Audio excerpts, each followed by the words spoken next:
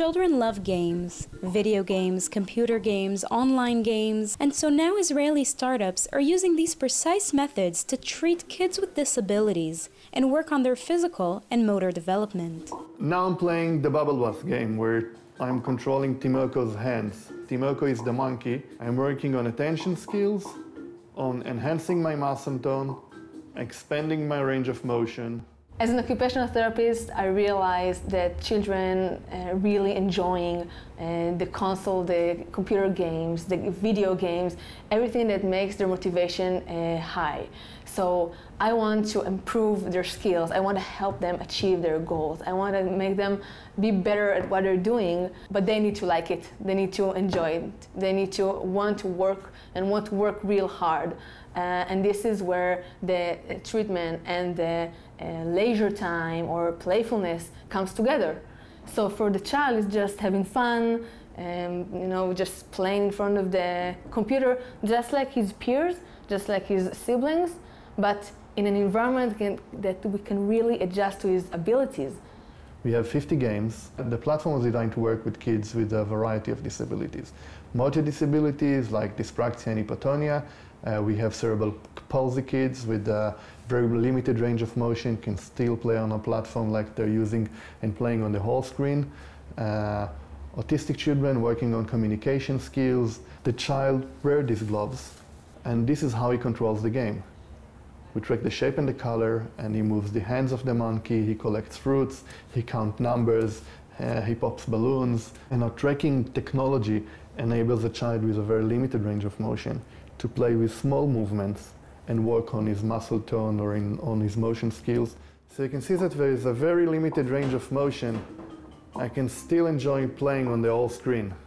All you need in order to play is a computer and a simple webcam, no large consoles required. And these entrepreneurs point out that the games do not replace traditional medicine, but instead complement it. And we're not replacing uh, the usual therapies that uh, those children need uh, go through. It's just another tool. It's a very effective tool. It's an enjoying and engaging and motivating tool, but it's not replacing all the other tools. So we're playing the Alien games, which designed to work on the coordination between two hands. The platform offers games for children over three. However, real age is not the only factor. The developmental age is what counts in order to be treated. If the child is 15 years old, but the developmental age uh, is lower, so we need to adjust the not just the setting of the game and the, and the difficulty levels, but also the content.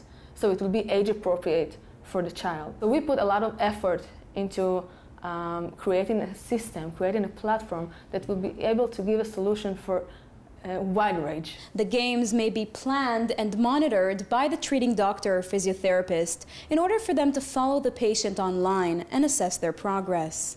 Teletherapy is a platform that we created uh, using our uh, engaging uh, virtual environment.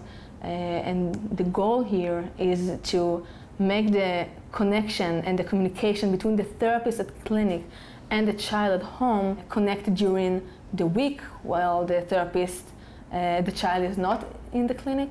So the therapist can, is able to monitor and track the progress of the child from distance. Therapists can remotely send a weekly plan for the parents to continue and practice at home.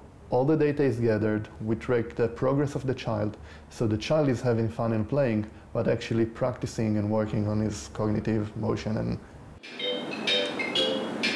this Israeli startup ensures that by picking fruit, playing with a cartoon monkey, and targeting aliens, among others, children will enjoy a playful experience which will contribute to their development at the same time. For JN1, I'm Sivan Raviv, Israel.